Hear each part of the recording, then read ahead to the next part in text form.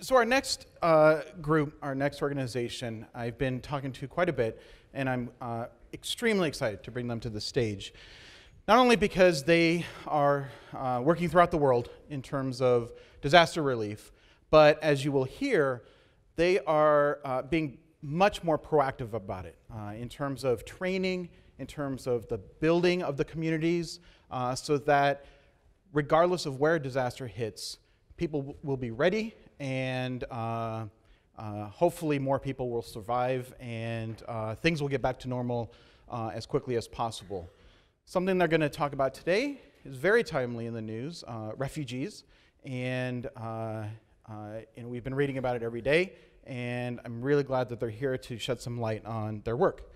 International Medical Corps will discuss how, as first responders, creating self reliant, self sustaining medical services and infrastructure will do more than just put a band aid on a dam. So please welcome International Medical Corps.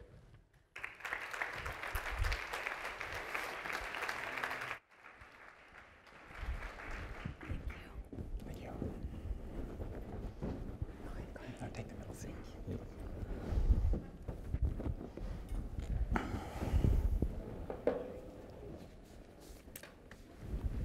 All right. Good afternoon, everyone. Can you hear us? We just got mic'd up. Okay.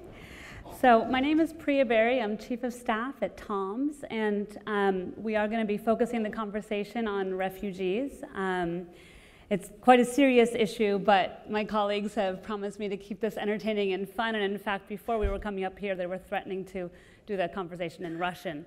So um, I think if I get boring, they're going to help spicing it up. But um, Look, I'm pretty ill equipped for this task. I've never really worked in refugee communities um, or served them directly, but luckily uh, my colleagues have. Um, our two esteemed panelists here today um, have, um, have not only educated themselves, but have also um, have firsthand experience in serving refugee communities. I'd like to introduce Chris Skopec, Senior Director of Emergency Response from International Medical Corps, one of our um, giving partners at TOMS um, as well, which we're very proud of. Chris has spent uh, years serving co- uh, refugee communities around the world, um, most recently in Jordan, is that right? That's correct, yeah. Yeah. Uh, and then we also have the amazing uh, Anne V, um, model and actress from Russia, and also a dear friend of TOMS who's lent her name and her voice to help influence and rally a broader response um, to refugees and, and serve as a first responder. She'll tell you more about what that means um, for, for International Medical Corps. Um, so look, I mean, refugees is, is no silent topic in the news today, but the reality is as much of the world has turned a blind eye on the issue until um, many people were woken up to seeing the photo of, um, of young Aylan on the beach, and, and that's what turned us on. But um, that leaves us with 60 million refugees today which is a stark and staggering number, um, and one that is, is quite overwhelming. Uh, the number continues to grow, with more than half of those being children, which is even more staggering. I'm going to turn to Chris actually to just kick off the conversation and really just, Chris, can you shed some more light on the global refugee yeah, crisis certainly, Priya. where we are today? And, and thank you. I mean, I think the number uh, can't be understated 60 million. That's more refugees today than we've had since uh, World War II. Uh, and uh, it's not getting easier to deal with. What I, what I think most people don't recognize is that uh, the status as a refugee is not a short term uh, condition. In fact, uh, today the average life uh, or duration of displacement for a refugee is 17 years. Uh, in fact, my, my wife fled her country and her homeland in 1992 and hasn't been able to return since. so the idea that we're dealing with short term problems uh, that we need to put a band-aid on is, is really a misconception. We, we have to find durable and sustainable solutions uh, because the problem is not going away. Uh, the, the causes uh, that, that uh, are creating this refugee uh, situation is, is only getting worse. These are natural disasters, they're man-made disasters. We've had more large-scale emergencies in the past decade than we've had at any time in the last 50 years. and by all signs, it's going to get worse before it gets better.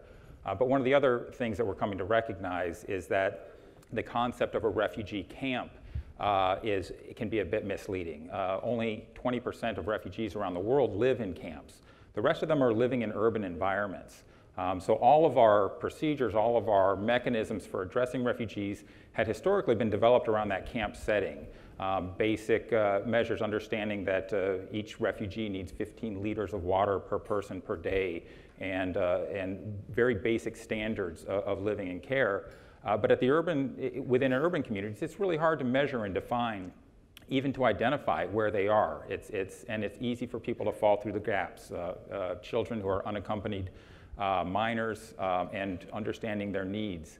Now, what is a refugee? A refugee is a person who has fled their homeland uh, due to fear, persecution, uh, threat of, of death, uh, and has crossed a border, an international border. And they're protected under international humanitarian law which, and, and international human rights, uh, which says that every person uh, has the right to seek refuge in a foreign country, has the right to basic services, has the right to education, has a right to legal protection, which in theory sounds great, but when you start seeing the pressures that are put on these countries, when you see the massive numbers, in practice it becomes very difficult.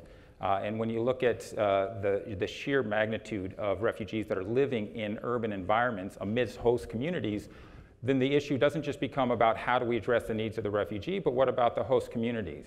when suddenly they're not just in your area and creating security risks, which many of us are very familiar with, but you're also competing for jobs. You're watching the cost of living go up, go up. You're seeing that your children are now in schools that are overflowing and you can't access health care. And so it has a huge impact when one out of every four people in Lebanon today is a refugee. And these are refugees that four years ago were not there. So trying to understand the context only in, in, uh, it, with it, an eye on the refugee, but overlooking the broader issue that it has on the communities in which they're working, and, and really the people that have opened their homes and their lives to, and have done more than all of us combined to, to really meet their basic needs, uh, is, is something that we have to uh, really focus our attention on. Yeah, great point. You know, I was um, just um, reading a recent op-ed by Jeff Sachs, and he very effectively brought up um, the point, the two sides of the coin in the refugee scenario, and I have to admit, I, I didn't really understand um, true, the true impact on the host community, mm. so thanks for bringing up that point. Um, but what I find even more, um, I guess, harder to grasp, I don't know if you all were shocked by, by Chris's statement that, you know, refugees, the length of, of time is, is really, the, of displacement, 17 years, so that's almost two decades. Right. Uh, for me, what that tells me is that if we don't come up with an adequate response, we have a lost generation, right? 20 years. So um, I find that, that frightening, um, and knowing that there are many that are already in that situation. I think we should go a little bit deeper. Um, Anne V, before the session, also helped me realize the impact um, that's disproportionately affecting women and children. I wonder, and if you can, you know, as a mother, as a first responder for International Medical Corps. Can you reflect on that a little bit and, and, and share your, um, your firsthand experiences as well? Mm-hmm. Uh, hi, everyone. Um, I feel really fortunate to be here and talk about this topic. Um, I'm originally from Russia, and um, you know, I would never understand what refugees go through, but I left Russia when I was 15 years old. Um, without speaking English, without my family, I came to the US for um, for the hope of a better future. Um, my dream was to become a model, and I became one. And um, I had an amazing opportunity to travel around the world and uh, see different nationalities, like, be exposed to different cultures. And you know, I became a really big uh, women's advocate because um, in Russia, women don't really have an opportunity to use their voice. Um, and, and, I didn't really feel like I could use my voice and I could really achieve what I wanted to achieve. And I had an amazing opportunity of coming to America and realizing my dream. Um, and when I was doing uh, research, I, I, found that 80% um, um, of refugees are women and children. And 75% of all Syrian refugees are women, and 70% of all Hungary are women. And you know, it's such a heartbreaking situation, what's happening in the world, that uh, we really need to target women to really help the situation. And you know, we, have really seen so much in the news, uh, this amazing, incredible stories with 200 people trying to flee their country. Um, you know, 200 people on one boat trying to go to Europe and cross Mediterranean and uh, putting their families at risk. And as a new mother, I mean, I can't really, I can't imagine what courage it takes to risk the life of their families, their children, uh, their lives to hope, just hope to get a better future somewhere. And um, yeah. Yeah, it's the, um, it is hard to get even inside to even try and grasp what that feeling would be um, as a mother myself to un- even understand what, how bad it would have to be to compel you to take on that likely tragic journey. Um, but thank you for pointing to what's happening today in the recent situation. Um, let's take a let's take a view into Syria. I wonder if Chris, maybe you can help us Sure, sure. understand what's really going on. I mean, it's the you know the largest humanitarian crisis we're facing of the day. Um, it's on our screens every day, uh, but yet um, it continues. Right, right. It's a country of 22 million. 4 million have already fled the country. 8 million more are displaced within the country. We're going into the fifth year, and there's no uh, solution in sight. Now, we've seen the, the impact of the refugee flow into Europe on an almost daily basis ever since uh, the images of the young boy washing up on shore in Greece um, brought it to our attention. But the fact is, this has been four years in the making. Uh, Lebanon and Turkey are both hosting over a million refugees. Jordan is hosting 700,000. This is a country of, of less than 5 million people. And, and so it's just a matter of time before uh, we've reached a, a breaking point and where the overflow is going to happen. And, and as you heard yesterday from a firsthand experience of a refugee, they're fleeing uh, some, it, it, leaving your home is an act of extreme desperation. And as soon as you leave your home, and this is a study done by UNHCR, the level of vulnerability that you face and your family faces goes up uh, exponentially. You're not doing it because you're looking for a better life. You're doing it because you it's your only option left to you. And so, no amount of controls at the border or any other regulations are going to stop people from, from doing that and trying to flee to safety.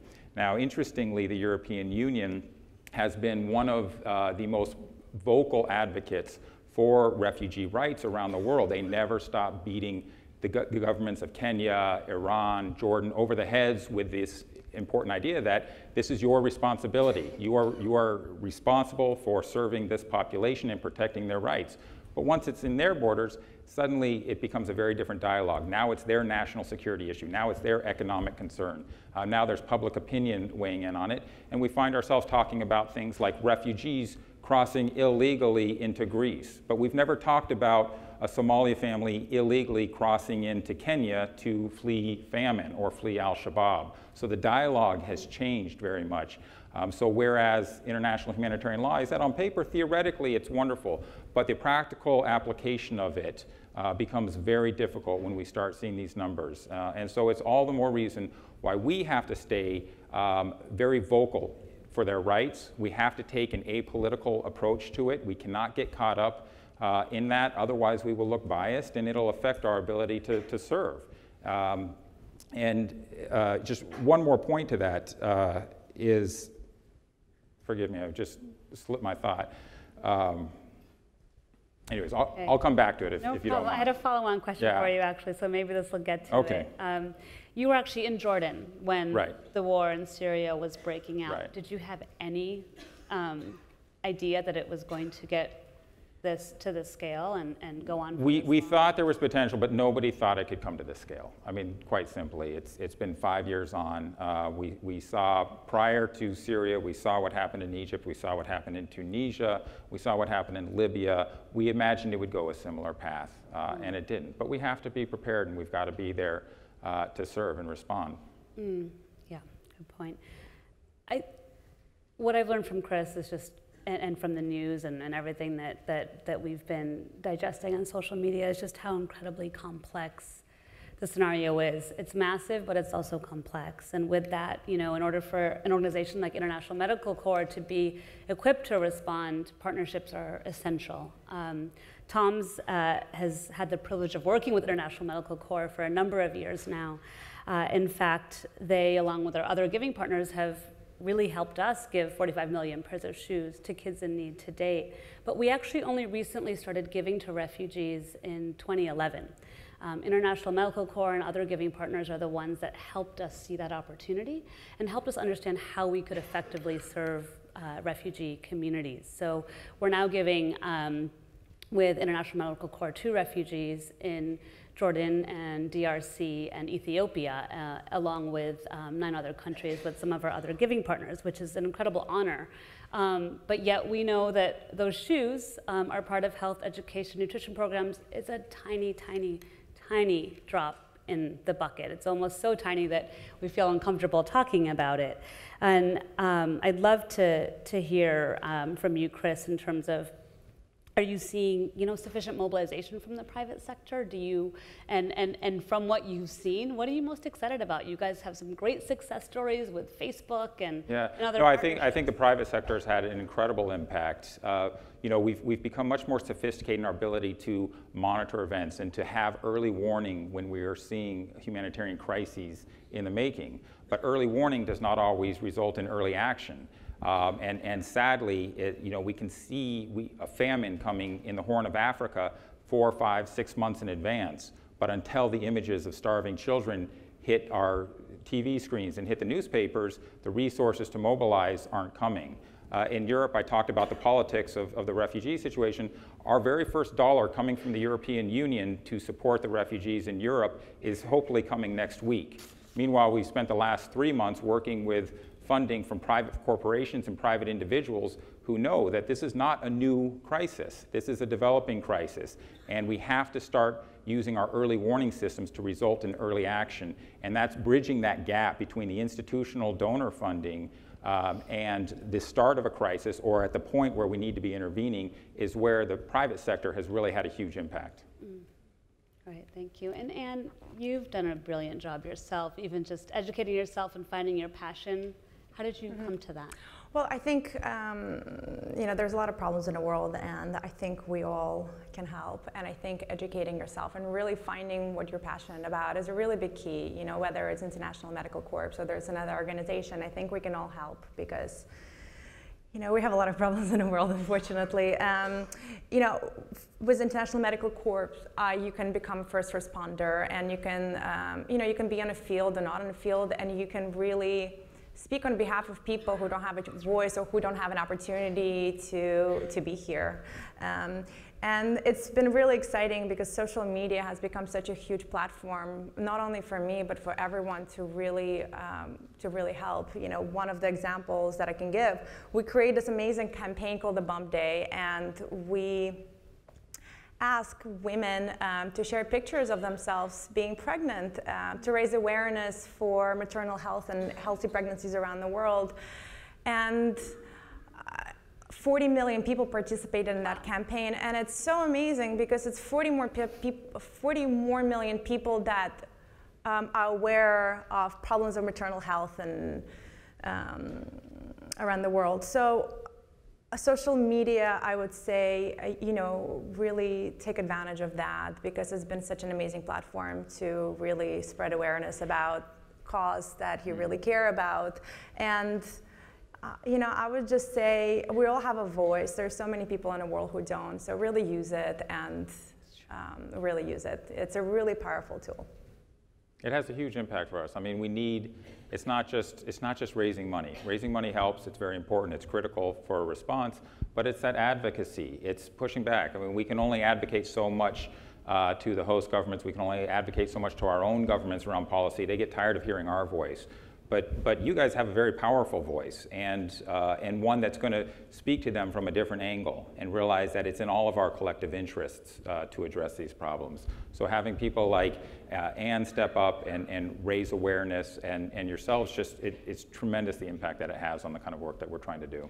Mm, it's a great point, I think, that both of you have made, especially because a crisis of the size can be daunting and people can almost be paralyzed, right? And not quite knowing what they should do or what they can do or feeling like maybe they don't have a role. Um, but there's, um, there's plenty that you can do from watching Anne as, as a role model. Um, and, and, he, and IMC's done an incredible job through their campaigns to create easy ways for people to get involved. So we just want to encourage all of you, whether it's International Medical Corps or other organizations, to really realize that you do have a role. Um, there's a, there, there's, there's a there's a, a very human aspect to the crisis, and it's up to us to keep it human um, and, and to direct, take direct action. Um, without that, uh, we simply won't be able to, to solve the problem, no matter what, um, no matter what company or what government or community you represent. But um, this really is about a global humanity. And I would just close, um, since we're out of time, by saying, if if you yourself um, were trying to flee danger or were forced to flee danger because it was that bad and simply trying to find a secure place for your family, how would you want to be received and what resources would you want to have in place on the other end to know that you might have the chance of, um, of a future?